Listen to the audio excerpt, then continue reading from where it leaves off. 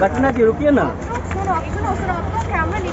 दोस्तों, आज की इस वीडियो में हम आपको कैटरीना कैफ द्वारा मीडिया वालों पर एंग्री होने के न्यूज़ के बारे में बताने वाले हैं। लेकिन उससे पहले अगर आप हमारे चैनल पर नए हैं तो चैनल को सब्सक्राइब करके बेल आइकन को प्रेस करना बिल्कुल भी ना भूलें।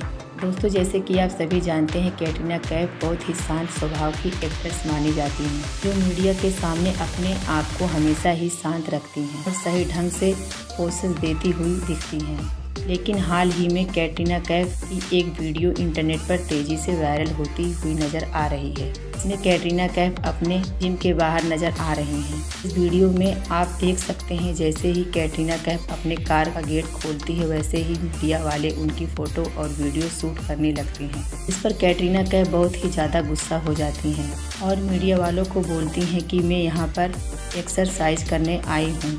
आप ऐसे फ़ोटो और वीडियो हमेशा नहीं बना सकते हैं और मीडिया वालों का कैमरा बंद करवा देती हैं, जिस पर मीडिया वाले भी अपनी गलती मानते हुए उनसे सॉरी कहने लगते हैं। खैर, इस टाइम तो मीडिया वालों ने अपनी गलती मानी और कैमरा भी बंद कर दिए, जिसके बाद कैटरीना का गुस्सा शांत हो जाता है। दोस्तों, आप इस घटना पर क्या कहना चाहेंगे? हमें कमेंट करके ज़रूर बताएँ। साथ ही ऐसी और भी लेटेस्ट वीडियो पाने के लिए चैनल को सब्सक्राइब करके बेल आइकन को प्रेस करना बिल्कुल भी ना भूलें।